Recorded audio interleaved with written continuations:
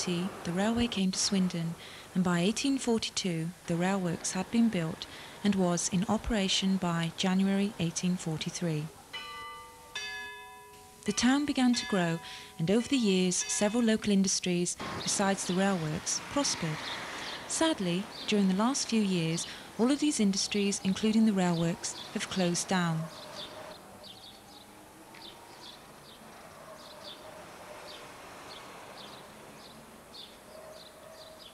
The face of Swindon and its industries have changed and now include commerce and high technology on many of the industrial estates and in office blocks in and around the town.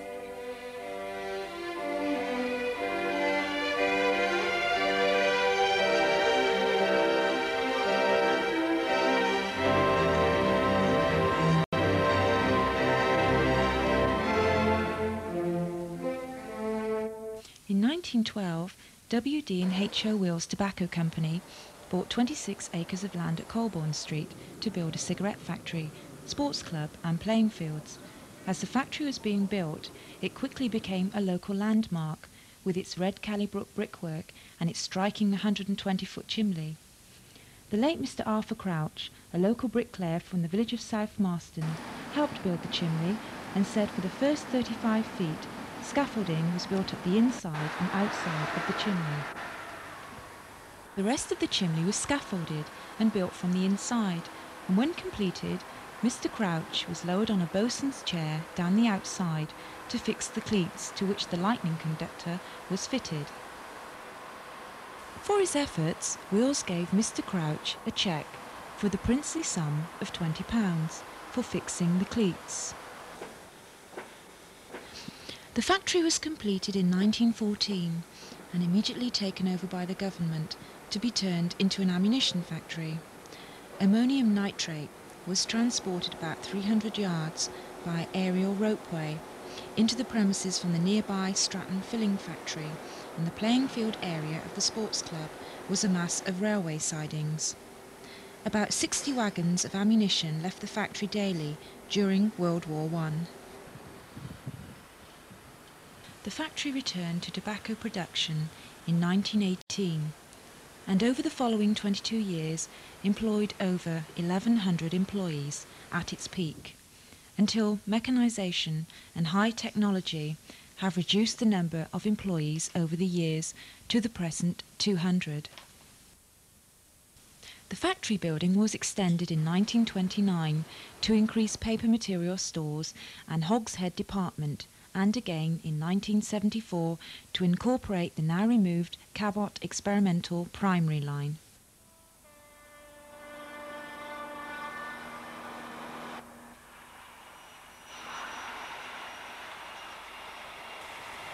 Being bordered by the London to Bristol railway line made it possible for Wills to have its own sidings with two lines, terminating in the warehouse, where up to eight wagons could be loaded under cover. To shunt the wagons about, Wills had their own Muir Hill petrol engine locomotive. In 1927, when all the tobacco and materials transported in and out of the factory was by rail.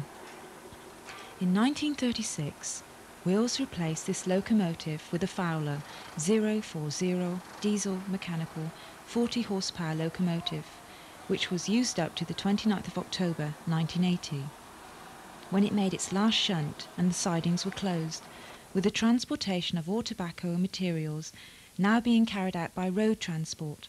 The locomotive, tracks and points were given to the Swindon and Cricklade Railway Society.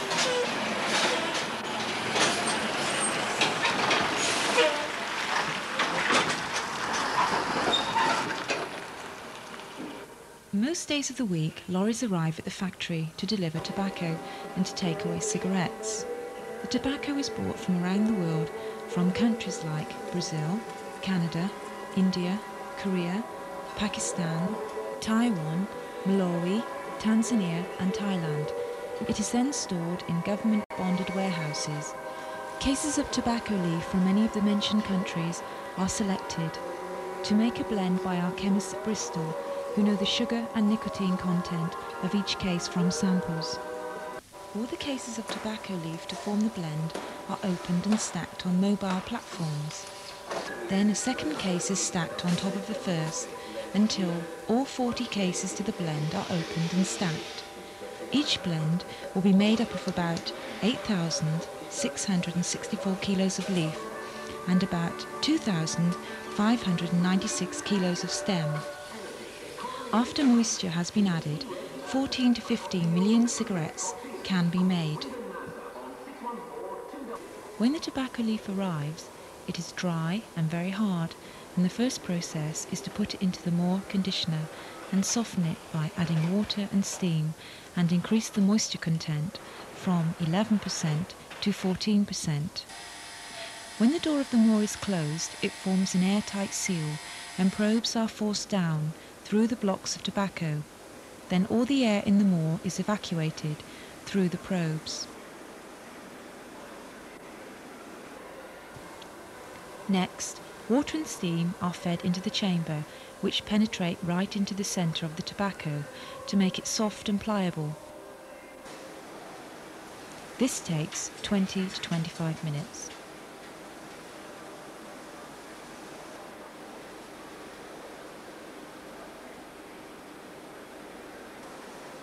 The leaf is now taken to the three GTL feeders, which breaks down the blocks of leaf and feeds them onto a common conveyor band, which is part of the mixing process.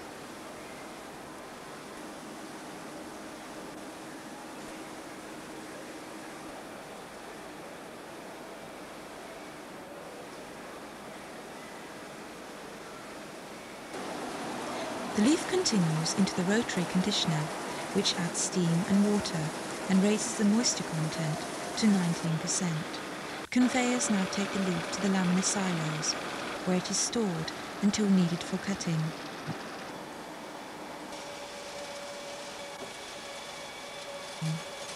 The laminar silos are another part of the mixing process.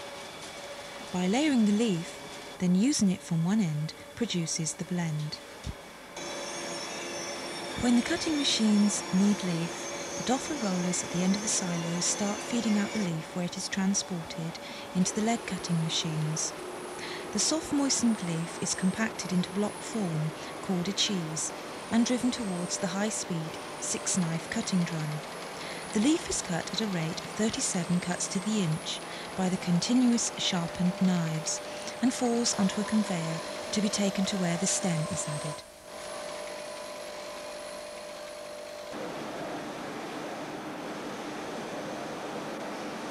Stem is removed from the leaf in the country of origin and is cased and bought separately and added to a blend in the proportions as determined by the chemist to make a certain blend. The ratio is 13 cases of stem to 40 cases of leaf. The hard dry stem is fed onto a conveyor at a controlled rate by the stem feeders and is conveyed to the Louisville pipe. Here steam and water is added. This takes the moisture content up from 11 to 33%, which makes the stem soft and pliable and ready for the stem crushers. The stem is forced between heavy rollers, which crush and flatten it for the next stage of the process, stem cutting.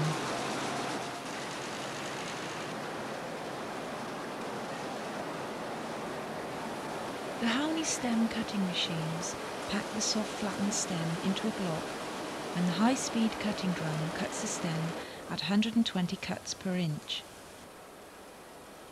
The cut stem now passes through the double wetting operation where jets of water soak the cut stem and increase its moisture content up from 33 to 45%, which makes the stem swell up. A conveyor takes a stem into a leg dryer where the moisture content is reduced to 25%, but the stem retains its swollen state. Now the stem moves on to a classifier, where a volume of air lifts up the cut stem along a ducting into a stem silo.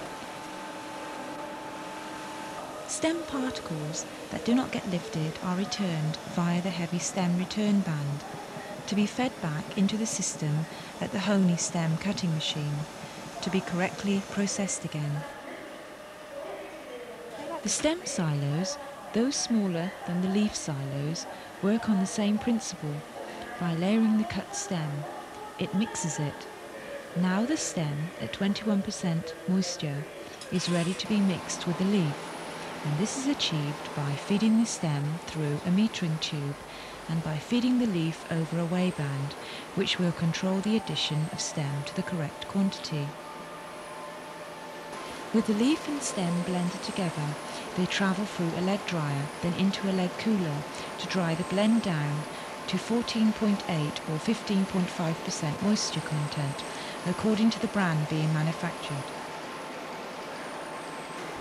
The cut tobacco rag now moves on to the tobacco stores, where it is stored in trolley bins at 70 kilos per bin, waiting to be used in the tobacco feeders.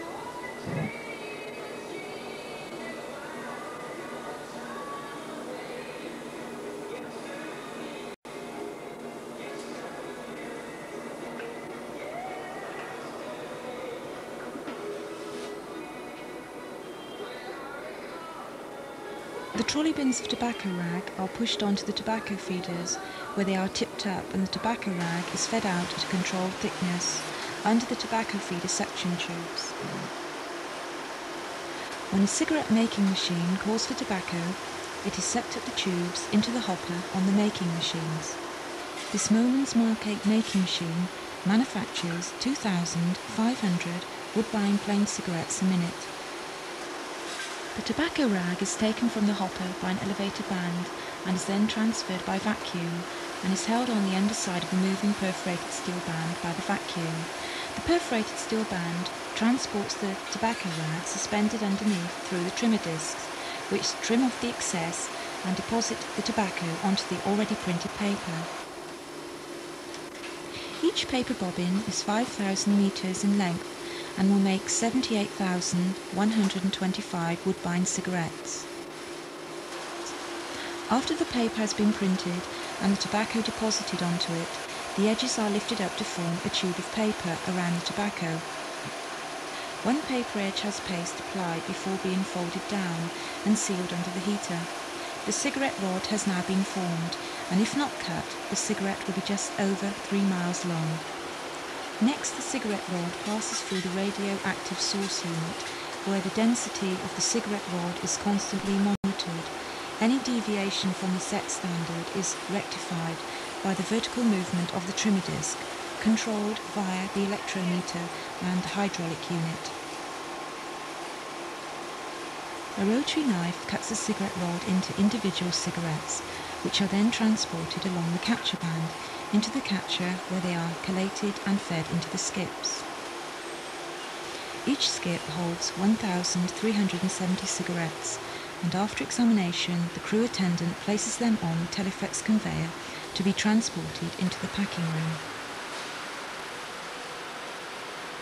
The cigarette rod on a filter cigarette is made the same way as on plain cigarettes, with the filter rod being added later. The filter rods are manufactured in other ITL factories and are manually fed into the filter hopper on the Class A making machine. Each filter rod is cut into three sections and a section of filter rod is placed between two lengths of cigarette rod.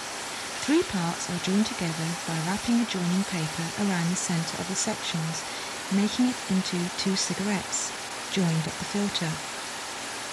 A rotary knife cuts through the filter, separating the two cigarettes with a series of suction drums. The rear cigarette is reversed before joining the mass flow conveyor to the tray filler. Trays which hold 3,750 cigarettes are placed onto the Mark 16 tray filler unit, where they are automatically filled. After examination, the trays are placed into a coach to be transported into the packing room.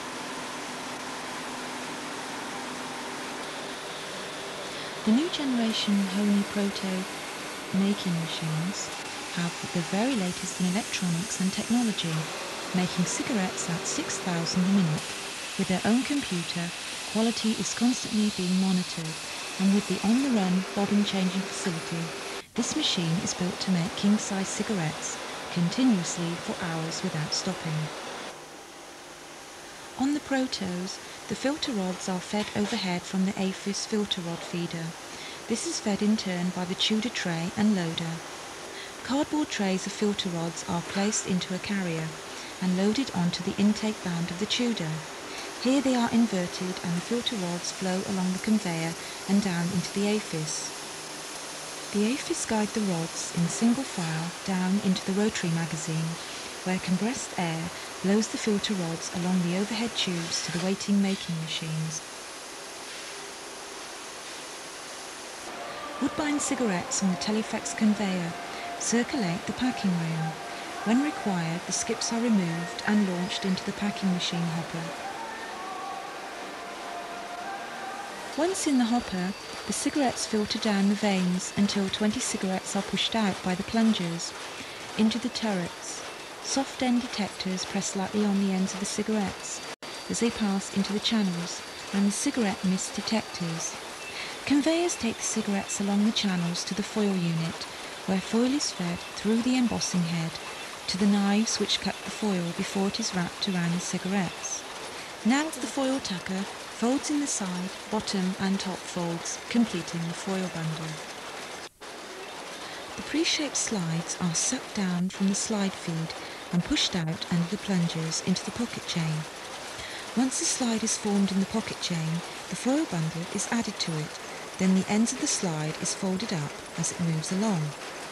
Shells from the shell chute are fed out, opened and positioned on the mouthpieces. Now the overhead ejector conveyor pushes the slide into the shell until the now formed packet is closed, then ejects it. The packets are now entering the GD to be wrapped in polypropylene film. First, a 1.5mm strip of film is cut from a bobbin transferred by suction to join the film, which has a line of hot melt wax on, to stick the two together. A horseshoe shape cut is made in the film, followed by the final cuts before it has the packet pushed through it. With the film around the packet, now the folds are put in, then into the heaters to seal, before the packets are collated for the parceler section. Here, a pre-printed real feed wrapper paper is used, adhesive is applied, then the wrapper paper is cut and folded around the collated 10 packets of cigarettes. Heaters are used to dry out the adhesive then the packet leaves the GD on its journey to the stretch wrap machines.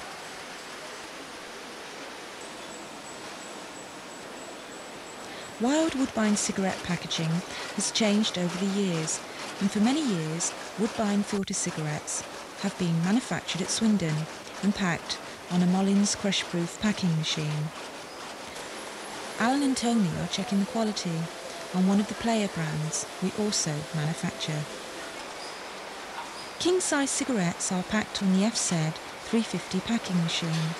These German machines produce 250 packets of 20 cigarettes a minute. The trays of 3,000 cigarettes are automatically unloaded into the hopper of the FZ and travel through a familiar route to the foil unit. The crush-proof packet is made up on the machine from a pre-cut blank. Extra strengthening comes from the frame, which is cut from a reel of card and placed over the foil bundle.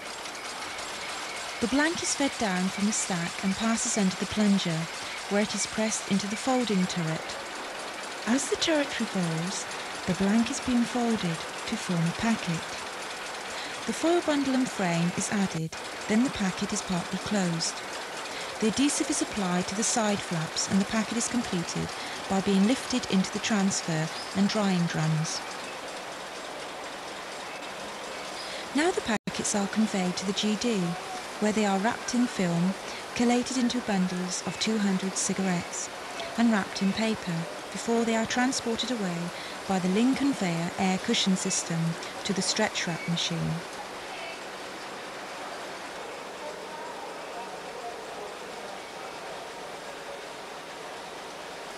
Looks like someone's leaving. David is having a photo call and Christine is cutting all the ties with him.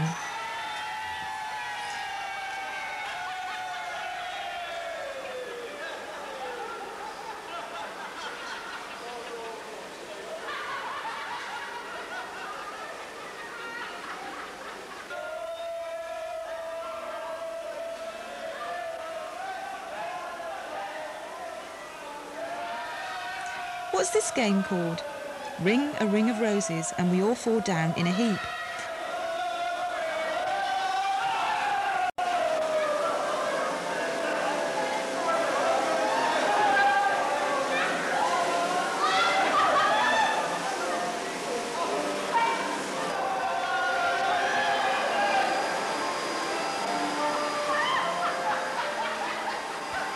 I understand this is an old Swindon custom.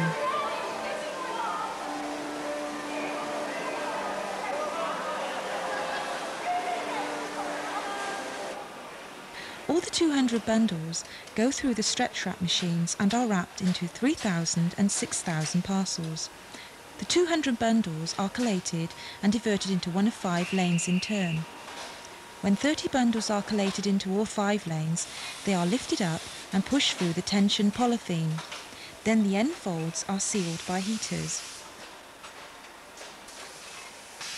Their journey is all downhill now into the warehouse, where they are stacked on pallets and spiral wrapped with polythene to secure them on the journey to the regional distribution centres and finally the retail outlets. In this corner of the cutting depot is a splitting machine which recycles tobacco from reject cigarettes. Trolley bins full of reject cigarettes are tipped into the hopper. The cigarettes are elevated up onto the vibratory corrugated conveyor where they are lined up. Now they are deposited onto a wet band which runs through a water trough. This wets the underside of the cigarettes before it goes into the pressure and serrated rollers.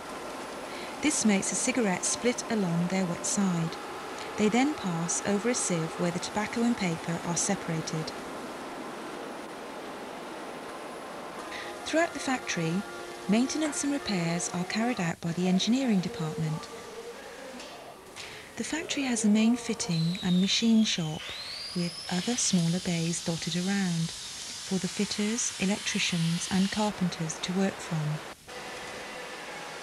During the process, quality is monitored by the laboratory assistants and patrol examiners who take samples and carry out a wide range of tests and examinations to ensure that quality is maintained. Today, the restaurant staff are putting on something special with decorated tables and staff dressed in old time costumes. A glass of wine complements the day's special meal of steak, followed by strawberries and cream. Now it's all over, this is what the restaurant staff do in the kitchen.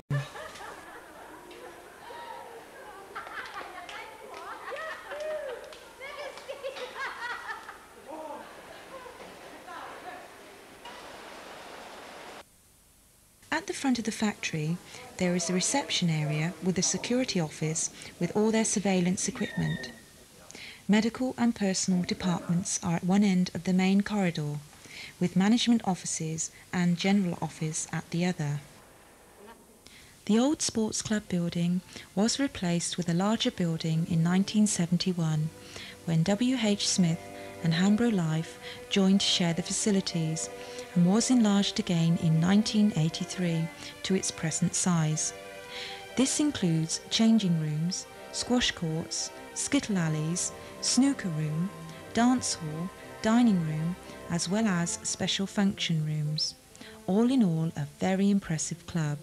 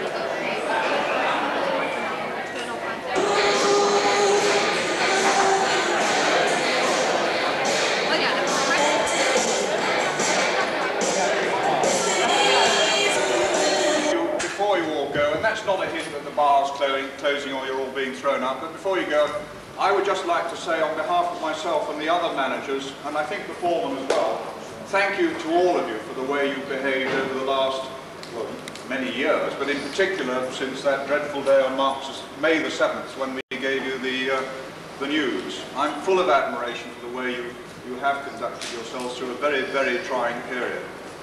Um, those of you who are going on to Hartcliffe and Nottingham, try and bring them up to our standard. Those of you who, those of you who are taking the opportunity to, for new careers, we all wish you the, the, the very best.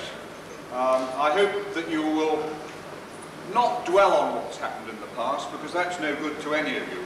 But look back on your time with Wills with pleasure, but look forward and get on with it, because I'm sure you'll all be very successful. Um, it is a sad day.